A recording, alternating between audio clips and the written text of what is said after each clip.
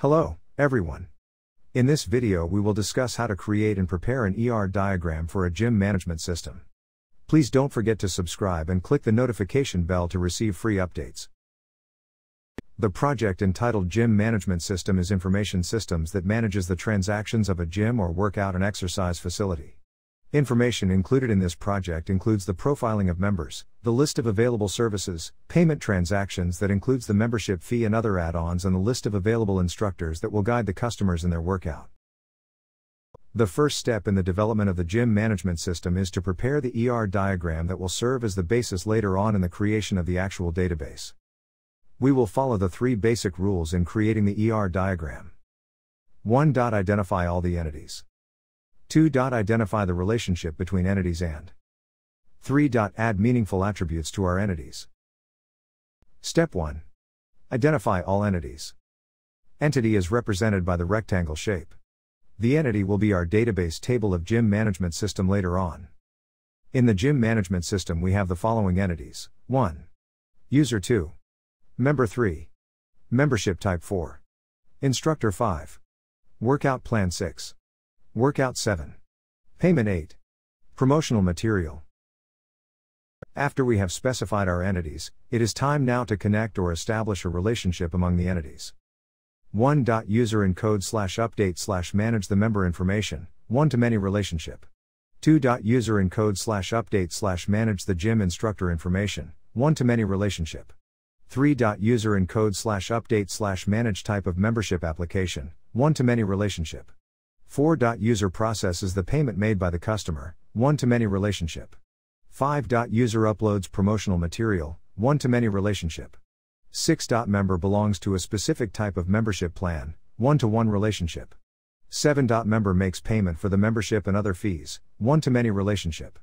8. Member can only enroll to a specific workout plan, one to one relationship. 9. Instructor teaches or guides a specific workout plan, one to one relationship. The last part of the ERD process is to add attributes to our entities. User entity has the following attributes. User ID primary key represented with underline complete name contact address username password. Member entity has the following attributes.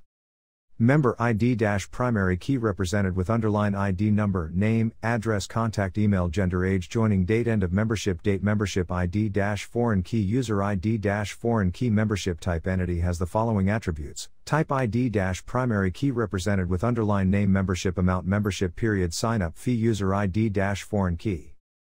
Instructor entity has the following attributes.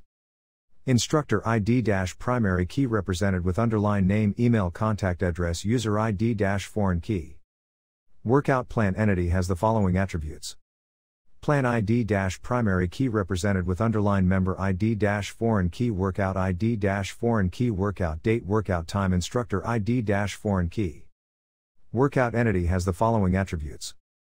Workout ID primary key represented with underline name description. Payment entity has the following attributes. Payment ID primary key represented with underline member ID foreign key time date amount user ID foreign key. Promotional material entity has the following attributes. Promotion ID primary key represented with underline name file upload user ID foreign key. Entity relationship diagrams illustrate the relationships between entities in a database, this can be helpful in understanding how the data is organized and how it can be accessed. Additionally, ER diagrams can help in designing and creating a database. Finally, ER diagrams can be used for data analysis and reporting. Entity, a thing or concept that is represented in a database by a row in a table. Entity relationship, the association between entities in a database. ER diagram, a type of entity relationship diagram that shows the relationships between tables and columns in a database. The ER diagram designed for gym management system will be a great help and source of information in the next stage of the project which will be the actual database design.